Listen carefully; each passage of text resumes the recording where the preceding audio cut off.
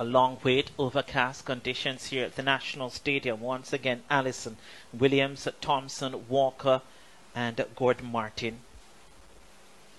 Set. Set position. Sent away. A brilliant start for Shimayra Williams running out of lane number four. She's up and well ahead of the field. Trying to go with her is Yanique Thompson from SprinTec. So far, Shimayra Williams well ahead from Elite Performance. An elite performance here from Shimayra Williams. 12.85 the flash time. That was very nippy. Not too quick. The World lead 12-3-2, but 12-8-3, very commendable for Williams with Yanique Thompson coming through in second place. And Allison 13.88 in third.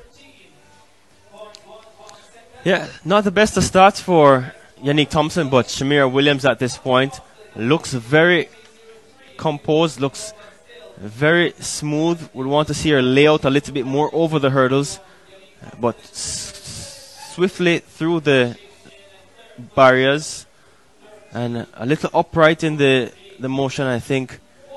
A little discomfort in that left knee. See her favoring there, but nonetheless, she still gets a